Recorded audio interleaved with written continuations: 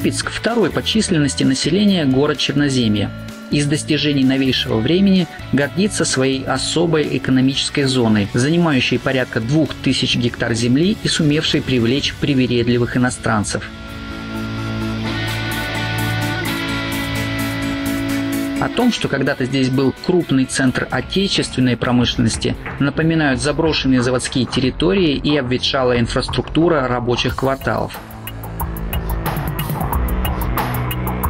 На полную катушку работает только Новолипецкий металлургический комбинат. В это предприятие был заложен такой потенциал, который до сих пор позволяет его нынешнему владельцу зарабатывать миллиарды – сам комбинат мало его интересует, если судить по потрепанному времени внешнему виду корпусов. Так не жалко бросить, если что. При этом НЛМК вносит главный вклад в превышение индекса загрязнения липецкой атмосферы. Третий по масштабам производства в России, он ежегодно отравляет воздух тысячами тонн вредных веществ.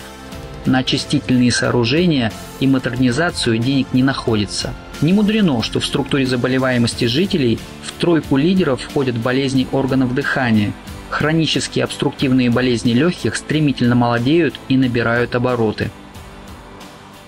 Комбинат этот – символ происходящего не только в Липецке, но и во всей России. Символ того, что бизнесу наплевать и на страну, и на нас с вами –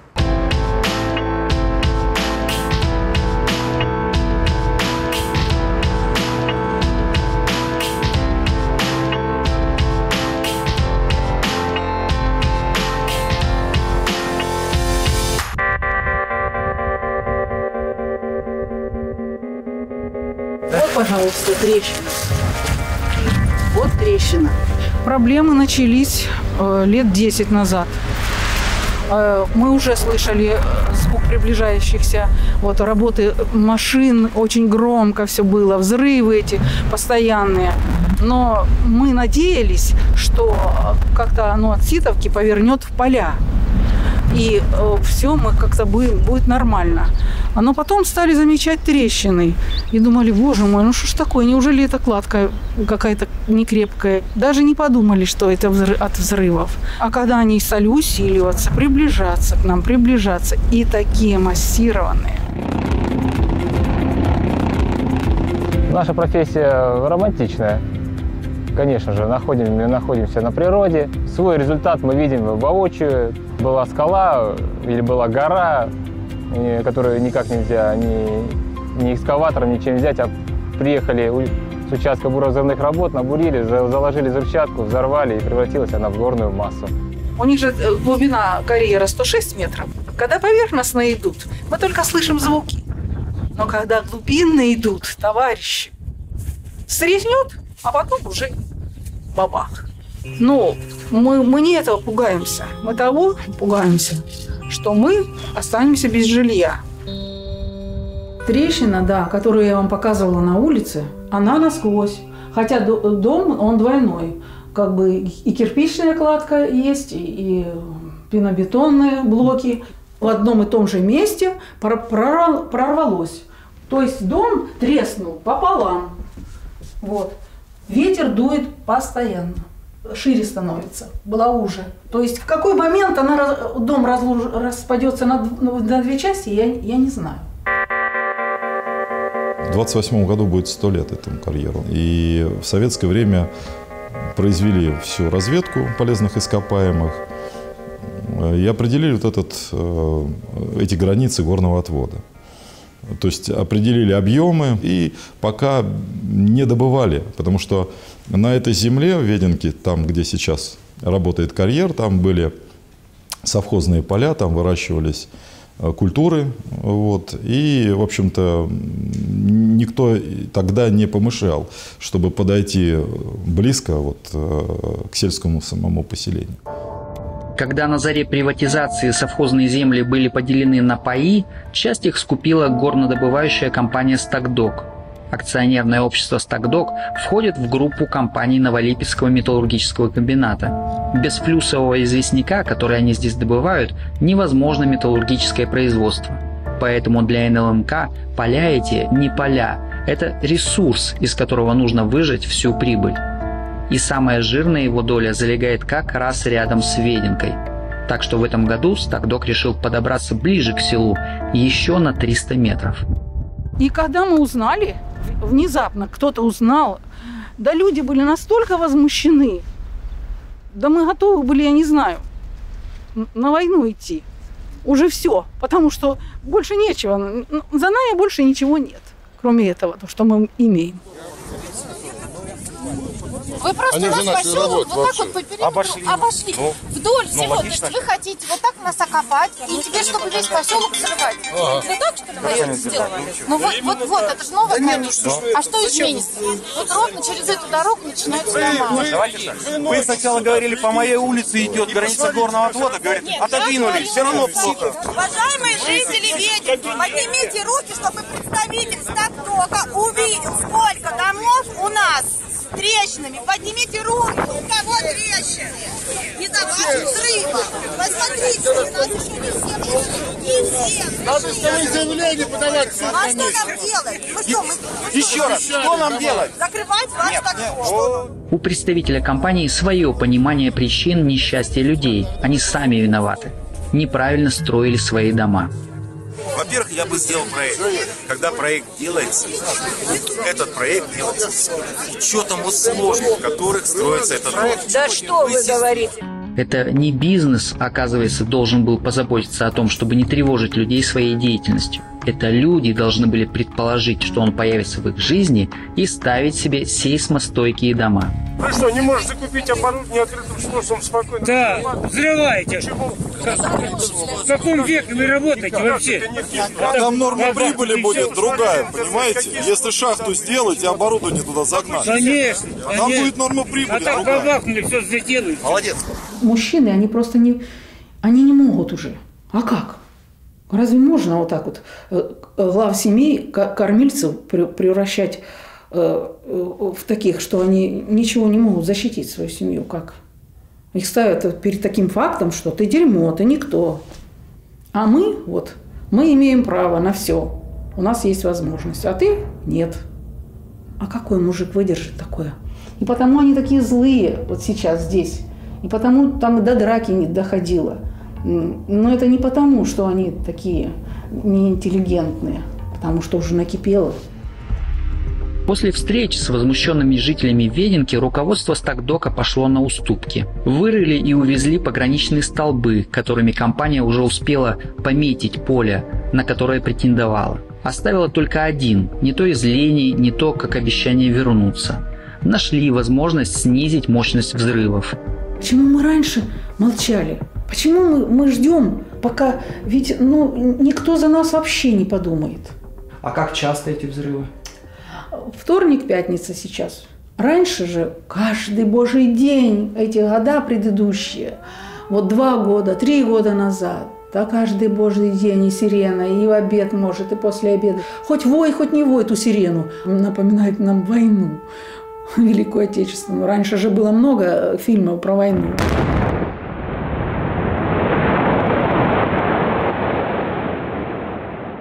Сейчас они звуки поубрали. Мы для вас стараемся, мы делаем для вас. Мы узвали, убрали звуки. Ну так уберите нам трясение. И все-таки это победа. Вместе оказалось возможным невозможное – приостановить беспредел бизнеса. Теперь бы, не останавливаясь на достигнутом, потребовать возмещения материального ущерба за поврежденные стены домов. Ведь сам делец на это не пойдет никогда – и такова суть современного бизнеса. Он сбросил с себя всякую ответственность перед людьми. Тот же НЛМК избавился от больниц, школ, детских садов и профилакториев, которые строил в советские времена. Он только доит, а власть еще из-за рубежа тащит таких же дойщиков – создает им особую экономическую зону, в которую вкладывает 9 миллиардов рублей на дороги, свет, газ, воду, на 5 лет освобождает резидентов от налога на прибыль и ряда других налогов, и даже не думает о том, чтобы потребовать от них оплаты труда рабочим на европейском уровне, например. Но тогда бы они не имели бы такую огромную норму прибыли. Они бы сюда просто не пришли. Поэтому сюда иностранцы идут э, за дешевой рабочей силой. Чужая территория, чужая земля, они ни за что здесь как бы не отвечают. Наши деды отстояли эту землю в Великую Отечественную. На территории Липецкой области дальше Ельца враг не прошел. Фашистское войско, объединившее солдат 15 стран Европы, не смогло. В области 18 сельских районов и в каждом присутствует иностранная компания.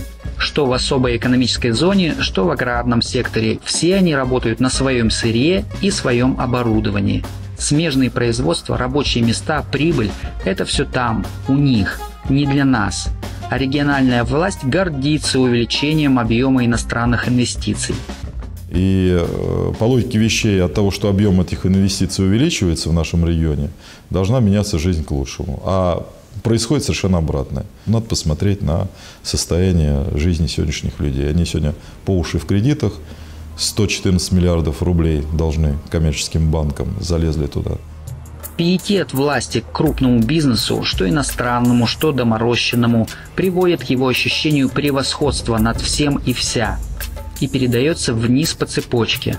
Местечковые бизнесмены точно так же чувствуют себя барами, которым закон не писан.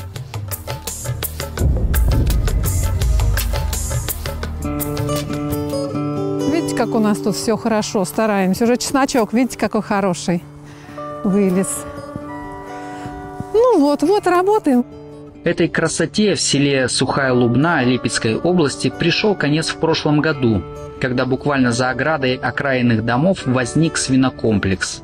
Они утилизировали вот эти все отходы, жигли, эти кости, там что еще. Вот этот горелый запах был, полиэтиленовые все упаковки. Тоже тут невозможно было выйти на улицу, ни форточку открыть, ни на лавочке не посидеть, вот тем более летом с детьми. И главное дело, у них план вроде бы расширяться. Общество с ограниченной ответственностью «Рудничное» изначально планировало построить здесь молочную ферму – Потом переиграли и сделали свинокомплекс, не имея разрешения ни на строительство, ни на работу. То есть это вот, вот обычно вот такая картина, да? Да, даже хуже бывает. Вообще не бывает. Это еще одна неприятность, которая пришла вместе с открытием свинокомплекса. История таинственная, потому что по официальному письму из Липецкого водоканала договор на поставку воды со свинокомплексом заключен не был. Вот это их вот проектная документация. Вот я вам покажу. А откуда она у вас? Ну, это я вам не скажу. Это военная тайна. Просила, просила людей. Из документа следует, что воду на комплекс должны подвозить цистернами. Почему с его открытием в определенные часы вода еле сочится, а летом вообще исчезает, непонятно. Дальше. Класс опасности вот какой – как они вот пишут, у них третий, четвертый класс опасности. Опасное дело разводить свиней. Они выделяют пары влаги, углекислый газ, аммиак, сероводород и другие газы, не говоря уже о навозе. А еще и отходы после забоя. Они тоже требуют утилизации. Поэтому санитарные правила устанавливают 5 классов опасности в зависимости от количества поголовья. Заявляя четвертый класс, комплекс тянет на первый.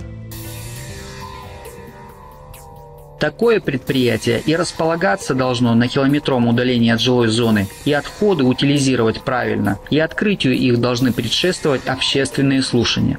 Но для владельца ООО «Рудничная», а по совместительству руководителю потребительского кооператива «Экоптица» все это только лишние условности. А как вот у вас здесь сработает? В принципе, положительное такое явление, да, открывается новое предприятие, вроде как рабочие места, да, для местных. Ну, Нет, насколько я знаю, у нас всего два человека с нашей Лобной здесь работает, на этой ферме. А остальные откуда? То, вот я не знаю, откуда они. Приемные, да, привозные, откуда-то привозят их. Каждое утро и вечер приезжает синий автобус, привозит, отвозит. Где они числятся и как они числятся, никто не знает. То есть вообще никаких плюсов, да, получается, для местных жителей? Конечно, никаких. Помимо того, что мы воду пьем неизвестно какую, дышим неизвестно чем. Как и жители Веденки, люди здесь сумели объединиться против общей угрозы. Писали и в областную прокуратуру, и в природоохранную, выиграли суд. Нам давались ответы и с районной администрации, и с области. То есть то, что э, разрешения на строительство нет. Э, объект возведен незаконно, где тогда какие действия принимает наша районная и областная власть? Я вот этого вообще не понимаю. То есть э, я могу построить, что хочу и где хочу, не оформляя никаких документов, ни вообще вот что хотела, то и возвела. Сегодня бизнес, который туда приходит, он, конечно, вообще не заинтересован в каких-то тратах там, на социальные какие-то объекты и прочее, прочее. Поэтому он приходит получить максимальную прибыль от э, своего, так сказать, производства, имея определенные связи в властных коридорах, вопросы строительства решаются очень быстро, даже э, без э, необходимой процедуры получения этих разрешений. Собравшись вместе, жители села сумели заставить себя выслушать. Судьба свинокомплекса будет решена после проведения экологической экспертизы. Также ждем результатов проверки прокуратуры. Ну а пока мясо ООО «Рудничное» лежит в магазине при свинокомплексе. Местные, правда, его не берут. То, что случилось в Сухой Лубне, происходит повсеместно, и причины такой недоброй моды лежат на поверхности. Сейчас многие процедуры разрешающие, они должны проходить через общественные слушания. А капитал уже интуитивно понимает, что люди все равно будут задавать колоссальное количество вопросов, и они пытаются эту ситуацию каким-то образом обойти.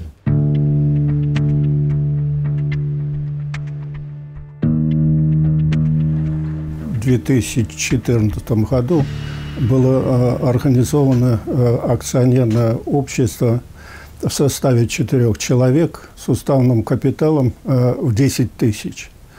Был определенный участок в зоне сельскохозяйственной производственной. И в апреле 2015 года началось строительство – Строительство началось без э, оформления соответствующей разрешительной документации. То есть сначала То есть, построились, а потом узаконили, да? Да. Отнеслись, в принципе, наплевательски. Значит, ну и э, таким же образом э, сейчас ведется строительство второй очереди. Решение по э, депутатов э, по принятие изменений э, в новой редакции генерального плана, оно э, в установленном регламентом порядке не принято. Речь идет об ООО «Кривец-птица». Для строительства второй очереди организация просит у местной власти ни много ни мало 48 гектаров земли, при том, что и при существующем объеме производства селянам оно не по душе. Первое, в районе Птичника, если посмотреть с тыльной стороны, там находится водоем, который э, значит, состоит из отходов производства. Это первое. Второе, значит, хранение отходов производства на промплощадке заявленной, оно не соответствует абсолютно никаким требованиям. Это второй момент. И третье, они, э, будем говорить, э, вот эти машины, которые вывозятся жидкие отходы, они сливают по всей территории Кривца. Несмотря на все это и при отсутствии положительного решения Совета депутатов, строительство новых корпусов птицефермы уже идет. И власть как-то это не напрягает. Почему, мы можем только догадываться, но определенные факты наводят на размышления. Когда у нас проводились выборы главы э, администрации области – то кривец-птица в районе ДК, в районе ДК построил детскую площадку. Это заурядная, обычная, неброская, такая скромная детская площадка. Но они заявили, что затратили на нее 1 миллион рублей на этот год. Э, вот э, нам э, с учетом того, что было затрачено, то есть привлечены инвестиции в 1 миллион рублей, выделяется из бюджета еще 1 миллион рублей. Так работает так называемый принцип софинансирования в наших регионах. Чтобы выбить из бюджета деньги, нужно сначала показать, что в поселение уже кто-то вкладывает – Потому и получается, построил я якобы за миллион детскую площадку и развивай бизнес сколько хочешь.